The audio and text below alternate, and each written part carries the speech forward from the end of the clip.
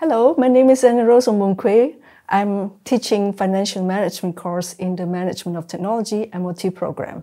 In my course, you'll learn about fundamental knowledge and skills of managing a firm's financial resources, basically managing financing and investment decisions. In a nutshell, the course covers topics such as financial statement analysis, types and consequences of financing and investment decisions, um, investment appraisal techniques, capital budgeting, valuation of some financial instruments such as bonds and stocks, uh, investment risk, and portfolio management.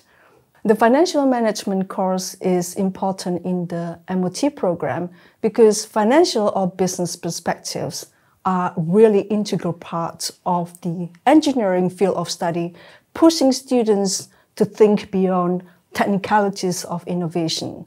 The course also provides students with skills such as um, financial and investment analysis, risk management, and capital budgeting.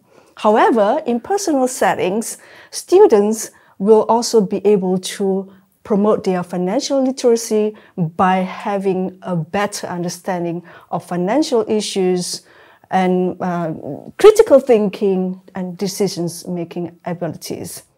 I really like teaching in the MOT program because uh, the MOT students keep me intellectually stimulated through their questions and through the interactions I have with them, or simply that they have managed to enhance their knowledge of the topics covered.